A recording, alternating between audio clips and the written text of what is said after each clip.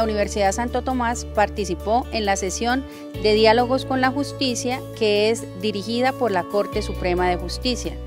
Tenemos la oportunidad desde la Facultad de Derecho, desde los posgrados de la facultad, desde el consultorio jurídico, eh, la posibilidad de participar eh, en este evento tan importante donde una vez al mes los magistrados de la Corte Suprema de Justicia interactúan con la comunidad jurídica y la Universidad Santo Tomás, seccional Bucaramanga, está presente. Para los estudiantes de la Facultad de Derecho es muy importante participar en este evento porque se mantienen actualizados sobre las sentencias más trascendentales que expide la Corte Suprema de Justicia. Cada mes eh, la Corte selecciona un tema de vital importancia. El día de hoy hablamos de la ley de capacidad para personas en situación de discapacidad. Esto le permite a los estudiantes y a los docentes interactuar con los magistrados de la Corte Suprema de Justicia. Sobre todo es un espacio que se hace en vivo y en directo y eventualmente esta sesión queda en la plataforma de YouTube para que cualquier persona pueda acceder a ella.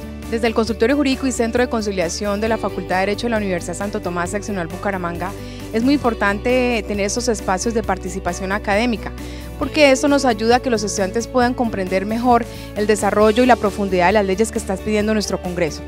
Nosotros hemos tenido en esta oportunidad la participación activa y tenemos a nuestro profesional de investigación de apoyo del Centro del Consultorio Jurídico Jason Porras y él ha trabajado de manera muy juiciosa a profundidad con estudiantes que están en su semillero sobre la ley podemos escuchar, Jason, qué participación tuvimos en el día de hoy. Después de un análisis exhaustivo que hemos realizado sobre la ley 1996 del 2019 junto con el estudiante Juan José Acevedo de décimo semestre, decidimos realizar unas preguntas, establecer unos parámetros de reflexión sobre la ley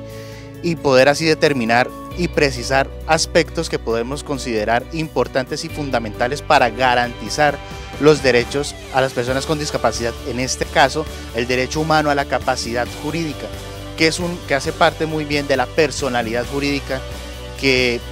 eh, delimita o dimensiona todo el trasegar y el diario vivir de las personas con discapacidad. Universidad Santo Tomás, institución sujeta a inspección y vigilancia por el Ministerio de Educación Nacional.